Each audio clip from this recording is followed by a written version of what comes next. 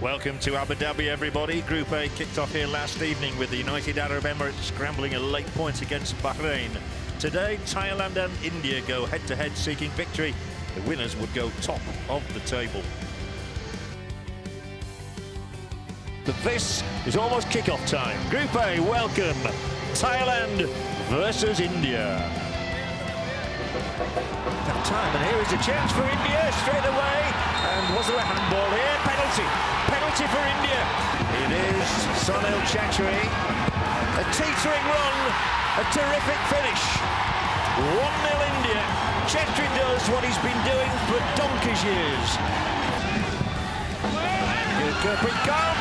It's a brilliant free kick.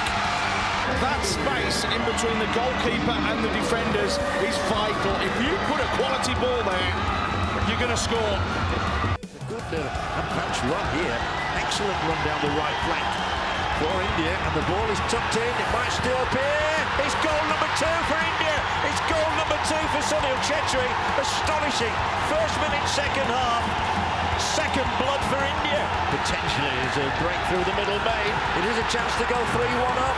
Can he take that chance? Oh, he's reversed it. It is 3-1 India. India things. And what a day this is in the history of Indian football. Strong second half. Well, that's not his best cross. Still drops to an Indian boot. Oh, Halicharan, it's Chhetri, it's a goal. India are going to win this one. It's JJ who's been on the pitch for two minutes. What about this for a scoreline? It's Thailand 1, India 4, and JJ has just scored his first goal for 10 months. 4-1 India. Well, look at that, what a substitution. No wonder they're high-fiving down on that Indian bench. JJ takes the salute. The man from Chennai. It wasn't the best of clearing headers. And then it's uh, Halicharan and curls it, does JJ, over the despairing Chap Chai. And we have a remarkable, a romantic story in Abu Dhabi.